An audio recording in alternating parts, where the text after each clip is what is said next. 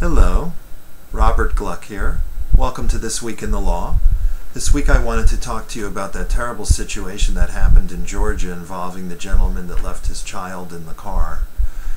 I wanted you to understand that in Florida, if that happened, the standard that would be used to determine what charges would be appropriate to file against this father would be whether his action rose to the level of gross negligence or willful and wanton negligence or recklessness that would make him culpable for murder, possibly even second degree murder, but definitely a manslaughter charge for sure, and he is facing substantial prison time.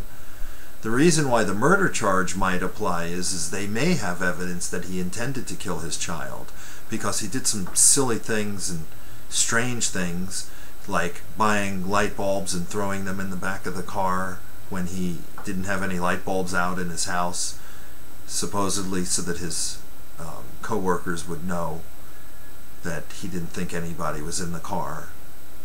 And his wife, when the child wasn't at daycare, said, oh, my husband must have left him in the car.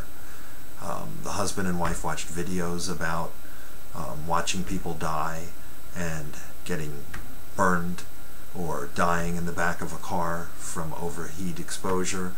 Uh, so all of these things might be evidence that they're intending on charging both the husband and the wife with a criminal charge.